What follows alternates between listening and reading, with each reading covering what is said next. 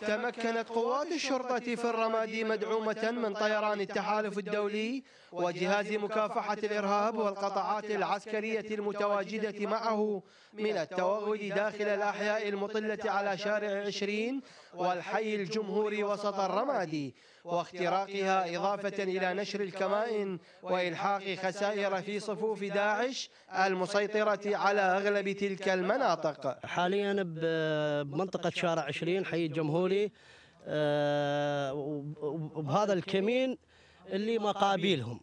وحاليا إحنا تقدمنا عليهم تقدم شاسع بفضل القوات الأمنية وفضل الجيش العراقي الباسل والتدخل السريع وشرطة مركز الفرسان. أيضا لهم الدور الفعال.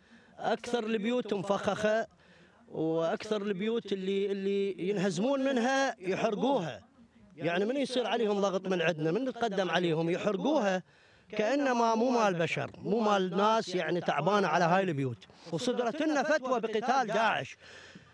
وراح نظل نقاتلهم حتى نيل الشهادة من أجل كرامتنا ومن أجل الناس اللي تهجرت واللي عافت بيوتها واللي تبهذلت وشافت المر والويلات والله لن نسكت عليهم.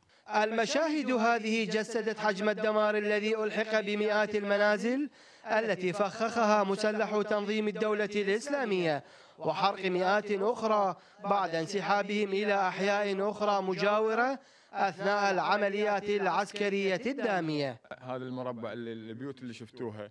كلها كانت بيد داعش وكلها بيوت مفخخة. كلها بيوت مفخخة. فطلعوا ويانا الجهد الهندسي ففككنا هاي البيوت فأخذناها. يعني إحنا باتجاه التقدم. هسه أنا مقابل مدرسة العلا. هاي البيوت كلها إحنا أخذناها كانت بيد داعش. وشوف سوى بيها؟ شوف داعش سوى بيها. إن شاء الله إن شاء الله أكو تقدم. والوضع نحو نحو الأحسن لأن ما يصح إلا الصحيح. فخخوا بيوت العالم وهاي الفقرة. يعني اذوها يعني شنو ذنب هاي العالم؟ يعني التفخيخ هسه حاليا الهندسة ويانا جان عالج بالتفخيخ وإن شاء الله مسيطرين عليهم بقوة الله ومتقدمين إن شاء الله بحيل الله. قوات الأمنية أكدت إصرارها على البقاء في خط التماس مع مسلحي داعش ومسك الكمائن مشيرة إلى التعرف على الكثير منهم. مستغربة من وجود نساء تم جلبهن وإسكانهن معهم في تلك الأحياء المهجورة. وإحنا بيناتهم شارع واحد.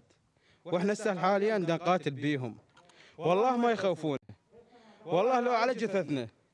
والله ما نطيها. ونظل الفرسان روسنا مرفوعة. كله تونسي ومصري وما أعرف شنو وحتى هاي النساوين اللي وياهم.